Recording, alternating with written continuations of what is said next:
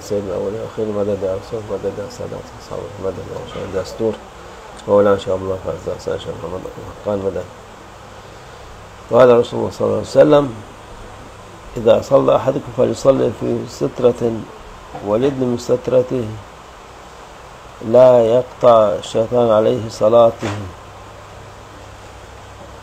Peygamber sallallahu aleyhi ve sellem buyuruyor ki sizden biri namaz kıldığı zaman sofa ve direk gibi bir streye doğru namaz kılsın ve stresine yaklaşsın ki insan ve şeytandan ondan şeytan insan ve şeytanlardan olan şeytan yani sitrenin önünden geçen kişi bu hareketiyle onu meşgul etmek suretiyle onun namazını kesmesi. Yani şimdi namaz kılıyorsun, sitre dedi, uza, az bir şey bir şey koy, namaz kıldığın önüne ki önden geçerlerse sen tamam için önde geçmesinler ya o şeyin arkasından geçsinler. Sen kıldığın namaz o geçince ona da günah oluyor. Ee, bilmeden geçmiş oluyorlar ama daha iyi e, eskiden kollardı böyle bir şeyler vardı. Ufak bir şey olsa bile konulurdu. O bilirdi insan orada namaz kıldığını sünnettir yani Peygamber sallallahu aleyhi ve sellem. Kale Resulullah sallallahu aleyhi ve sellem Erhikul kıblete Peygamber sallallahu aleyhi ve sellem buyuruyor ki namaz kıldığınız zaman kıbleye sitreğinizi üç arşın bir şekilde yaklaşın. Yani kıbleye doğru o e, şey insan geçmeyecek kadar yaklaşın, çok uzak e, olmasın ki insan aradan geçemesin diye. Kale Resulullah sallallahu aleyhi ve sellem İstatru fi salatikum velev bi sehmin İstatru e, Peygamber sallallahu aleyhi ve sellem buyuruyor ki namazınıza bir okla olsa bile sitre ediniz. Yani ok e, ya baston şey bir ufak, bir şey koyun önüne ki o sizin yeriniz, namazınız oraya kadar geldiğini millet görsün ki onun ilerisinden ya gerisinden geçsin. قال رسول صلى الله عليه وسلم إن الشيطان عرض لي فشد علي أن يقطع الصلاة علي فأمكنني الله منه كان الله تعالى منه فدعته فدعته ولا أوثقه إلى أسالك حتى تصبحوا فانتظروا فتنظروا إليه فذكرت قول سليمان رب هب لي ملكا لا ينبغي لأحد من بعدي فرده الله خاسئا Peygamber sallallahu aleyhi ve sellem buyuruyor ki şeytan bana göründü ve namazımı için bana hücum etti. Yani Peygamber Efendimiz sallallahu aleyhi ve sellem'in şeytan hem göründü hem hücum etti ki Peygamber Efendimiz namazını bozmaya azmetti. Ama Peygamber Efendimiz diyor Allah bana güç verdi onun boğazını sıktım. Yani Peygamber Efendimiz gücü kimse e, Peygamber Efendimiz kadar kuvvetli yok. Onun şeytan kuvveti yok. Diyor boğazını sıktım. Sabahladığınızda görmeniz için onu mescid direklerine böyle direğe bağlamak istedim diyor. Yani Peygamber sallallahu aleyhi ve sellem. O şey çap, paçavra gibi, çaput gibi orada şey sıktı. Elinde kaldı Peygamber sallallahu aleyhi ve sellem. Ancak Süleyman aleyhisselamın Kur'an-ı aşağında ey Rabbim beni bağışla bana benden sonra kimsenin ulaşamayacağı bir hükümranlık verdi demiş olduğu hatırladım ve bıraktım. Yani o şey yapmasaydı o kelamın üzerine Peygamber sallallahu aleyhi ve sellem şeytanı bıraktı. Allah onu küçülmüş kahır bir şekilde geri çevirdi yani. Perişan bir şekilde Peygamber sallallahu aleyhi ve sellem bıraktığı halde e, kaçıp gitti. E, rezil bir vaziyette e, hakarete ulanmış Hakir olarak çekildi. Yoksa onu herkes görecekti orada. قال Resulullah sallallahu aleyhi ve sellem Sütretul imam sütretu min halfih. Min halfa. Peygamber sallallahu aleyhi ve sellem buyuruyor ki imamın sütresi arkasındaki kişilerin de sütresidir. Sütre dediğimiz gibi hani ufak bir şey namazın kılacağı iki, iki üç arşın dedi. Yani böyle bir, bir iki metre olsun o yetiyor. Namaz onun arkasında başkasına günah olmadan kılınıyor. Yani. İsteyen o sütten önünden geçen geçebilir arkasını yani namaz kılanla sütre arasında geçilmez de onun son, sonradan geçilebilir ilerisinden. قال Resulullah sallallahu aleyhi ve sellem الصلاة على ظهر الدابة وهكذا وهكذا وهكذا Peygamber sallallahu aleyhi ve sellem buyuruyor ki bineğin sırtında namaz şöyle şöyle şöyledir. Kıble şartı kalkar. Yani namaz yolculukta olduğu vakit. Şimdi eskiden devede giderdi. Devenin üstünden elmeden namaz yolculukta namaz kılınıyor. Şehirler arasında bazen otobüsler durmadan giderse o da aynı şekilde ya uçakta, tayyarede giderken aynı şekilde denizde deniz ama tabii o deniz kıble kılabilir de böyle böyle ve nereye giderse kıble öyledir diyor Peygamber sallallahu aleyhi ve sellem. Yani illa da durup da kıbleye şey yapacağım değil diye. O kabuldur çünkü o hem seferidir hem me mecburidir. Onun için Peygamber sallallahu aleyhi ve sellem kolaylık olarak gösteriyor. Bazı insanlar yok e, uçakta oturarak olmaz. Şeyde de oturarak kılınıyor. Hani Peygamber sallallahu aleyhi ve sellem devenin sırtında, atın sırtında, e, katırın sırtında yolculuk yapınca onun üstüne kılınmış O sahihtir yani. Onun için bu kolaylıktır. Onu iade etmesi de gerekmez.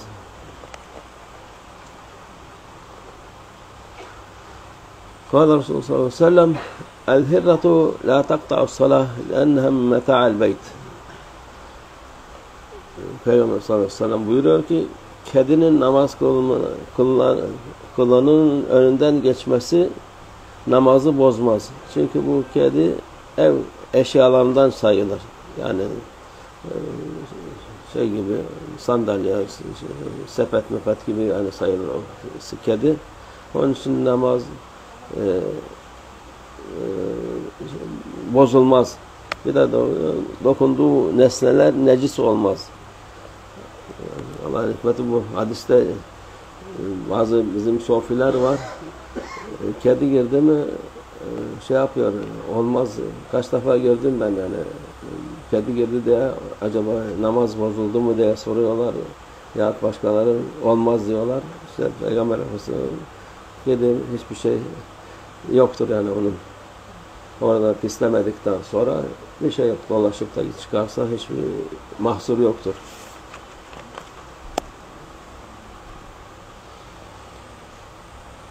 قال رسول الله صلى الله عليه وسلم لو يعلم المار بين يدي المغسل ماذا عليه لكان أن يقف أربعين أربعين خيرا له من أن يمر بين يديه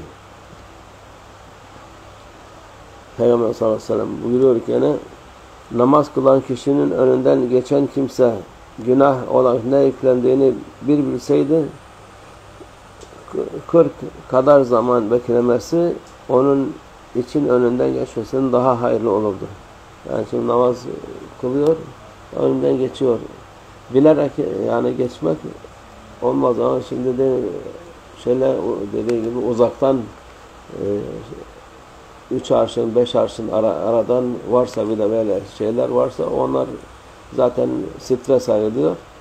Öteki türlü tam öyle hemen önde geçmek e, acayip, çok günah oluyor. Onun için o günahı bilse diyor bir defa değil 40 defa beklerdi diyor Peygamber sallallahu aleyhi ve sellem buyuruyor.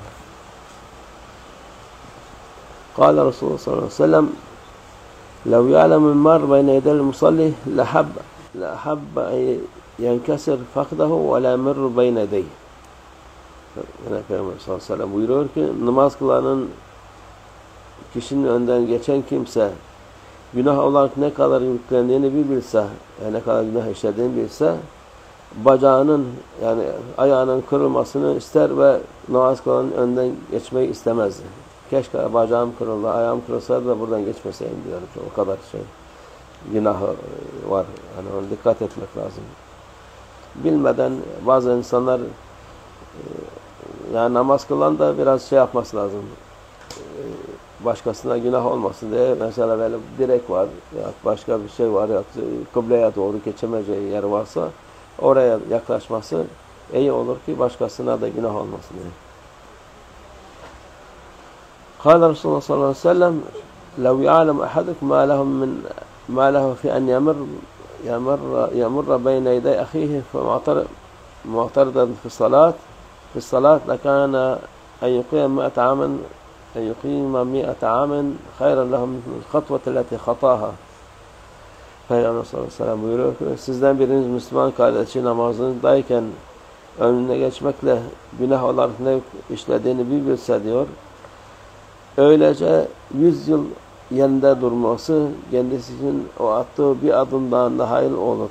Yani o bir bir adım yani adam o kadar pişman ki yüz sene bekleseydim burada bu ne için bu kadar şey yaptım hayat arkasından da dönseydim ya şey hani olsaydı öyle olarak şey yapar diyor. Hayırlı daha hayırlı olur. قال رسول الله صلى الله عليه وسلم ليستتر أحدكم في الصلاة بالخط بين يديه وبالحجر وبما وجد من شيء وجد من شيء مع, مع أن المؤمن لا يقطع صلاته شيء Peygamber sallallahu aleyhi ve sellem buyuruyor ki sizden biri namaz kılacağı zaman önüne bir çizgi çizerek işte çizgi dediğimiz bunlar gene çizgi sayılır yani bu şeyler. Ama gene de biraz ileriden geçmek lazım. Çizerek veya bir taşla ve bulduğu herhangi bir şeyle yani önüne asasını koysun, misvanı koysun, sırtları yapsın. Bununla birlikte müminin namazı hiçbir şeyle kesilmez. Yani ondan ge geçsen de o insanın namazı bozulmaz. Ama vebal, günah sen, sende olur. قال رسول الله صلى الله عليه وسلم ليضع أحدكم بين يديه مثل ما أخرت الرحل ولا يضره ما مر بين يديه Peygamber sallallahu aleyhi ve sellem buyuruyor ki sizden biri namaz kılacağı namaz zaman yaslandığı baston gibi bir şeyi önüne koyarak sitre yapsın. İşte baston, asa ne varsa onu önüne koysun. Ondan sonra da önünden geçen bir şey ona namazına bir zarar vermez. Yani o şeyden sonra ne ona namazına zarar verir ne gelenin e, günah sayılır. قال رسول صلى الله عليه وسلم الذي يمر بين يدي رجل وهو يصلي عمدا يتمنى يوم القيامة kıyamet ennehu şeceretun yabisetun. Peygamber sallallahu aleyhi ve sellem buyuruyor ki kasıtlı olarak namaz kılan birinin önünden geçen kişi kıyamet gününde bunun cezasının şiddetini görünce kuru bir ağaç olmayı ve namaz kılanın önden geçmemiş olmayı temenni edecektir.